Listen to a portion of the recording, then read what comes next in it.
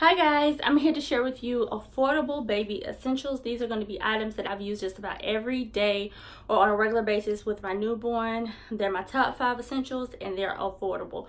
So let's get started. The first thing is this safety duck. I purchased this from Target for anywhere between two to two to five dollar range. Um, what it is is that whenever you make your baby's bath water, you put it in there. If it's too hot, the word hot will light up and it turns like a reddish purpley color so you know that the water is too hot. This is perfect for me like when i'm running my bath water for my little one i put him in he starts crying and i'm like is it too hot or is he just crying because he doesn't want to take a bath? He doesn't like the water.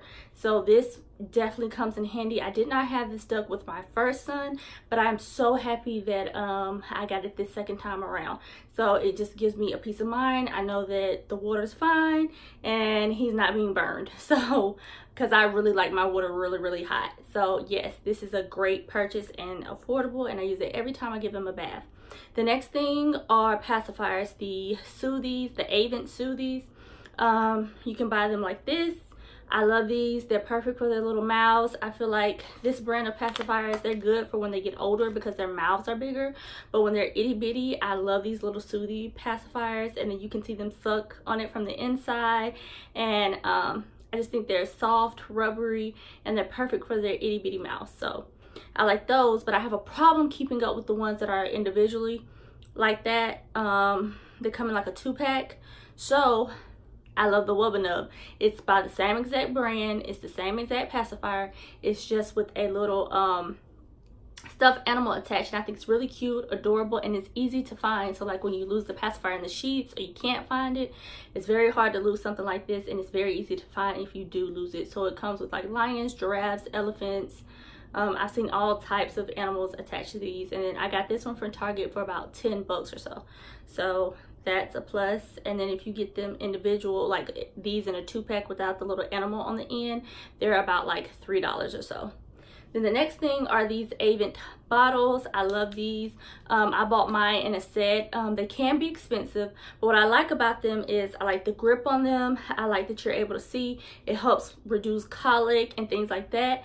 And I also like that the nipples come with different um, numbers on them. So that says a number two. So they start all the way from, I think they come with a zero if I'm not mistaken. So they go zero months, one month, two month, and they work their way up. So I think as the months go up, the hole gets bigger. So like the, um, how much milk your baby can suck out, um, it increases as your baby gets older because you know the intake is a lot better so for like my son um, i was able to purchase i had already the set that i bought already came with like one zero nipple. So i just bought a couple more on amazon. You can find the nipple sold individually but if you buy them in the sets um, it's more affordable and it's cheaper. So yes these bottles are more on the expensive side but if you get a set like i got a set of three four ounce bottles two nine ounce bottles and the zero nipple a couple of one nipples and a couple of two nipples. And so as they go up in age and you see oh my baby's just sucking sucking sucking a lot but if they're not getting a lot of milk they might need to progress for the next nipple. So i started him out at a zero because the flow the milk flow was like way too fast and he was getting choked a lot on his milk. So i started him out with a zero nipple. Then it seemed like he was sucking a lot like and enough wasn't coming out. Um, so then i moved him to the one that was perfect and then probably the next month or two we'll just switch out to the two nipples and you just unscrew it and pop it out. So i love that about these bottles that they're nice um, nice grip helps with colic and I love that you can change like the flow of the milk according to what stage you feel like your baby is in and things like that. So these are expensive. The nipples can be like two, three dollars in a pack. But like I said, look for the sets. I bought my set online for about like 22 $25 on Walmart online. Look in the store, it came with three bottles, three four ounce bottles, two nine ounce bottles, um, zero size nipple, one size nipple, two size nipples, and a bottle cleaner and the actual tops to separate the um, the milk from coming out. So that was a great set for like 25 bucks. Um, moving on, the next thing, I guess I'll go with this. The next thing is a DIY lounger. So now they have these baby loungers that you can just lay your baby on and walk around. You can buy a lounger. They're not that expensive. They're about like in the $20 range. No need for a lounger.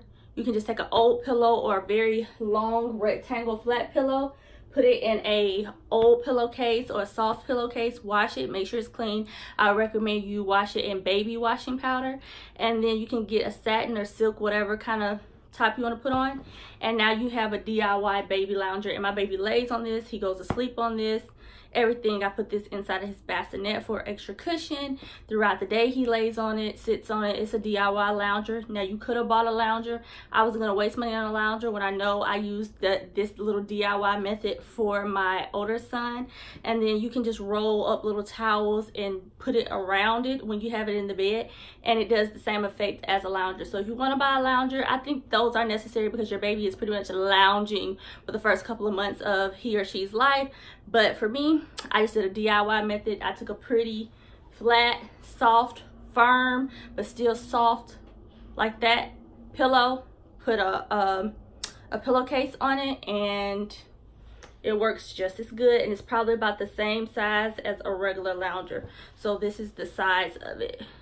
So, and if you can see those old stains, those are old milk stains. This is washed and has been cleaned, but it does stain the, the case. But it's soft. It's just right. He loves it. He goes to sleep on it. And I have two of these that I use.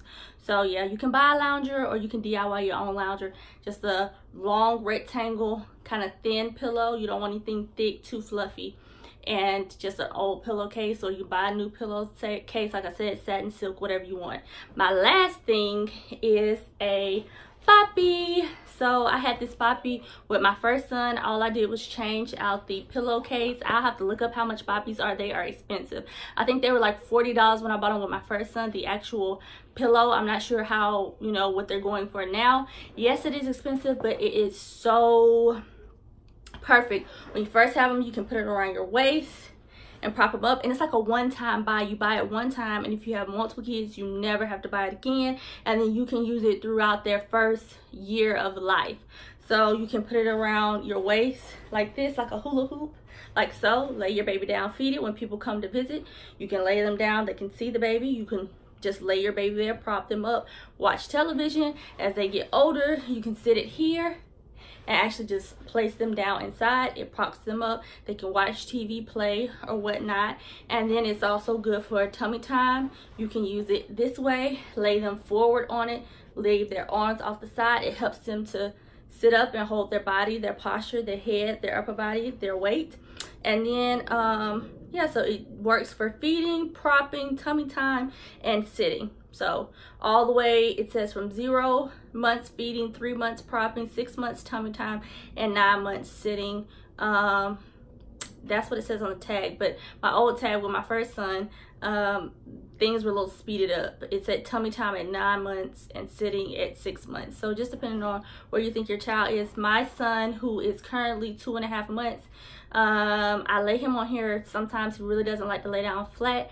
I prop him in it and we do tummy time in it. And as he gets older, when he can sit up, then you can put this around their waist through around their back to help give them support for them to sit up so yeah these are my affordable essentials. Let me know what affordable newborn essentials because these are everything that i've been using a lot for my newborn. He is two and a half months and he is just now growing out of newborn clothing. So yes i wanted to make this video while everything was fresh and i want to share it with you all. So leave a comment down below hit the like button and please subscribe to my channel. Let me know if you have any of these newborn items. Let me know if you've used any of these any of these things for your newborn. So anything you want to tell me, leave a comment down below, hit the like button, and please subscribe. And I will see you all in my next one. Bye, guys.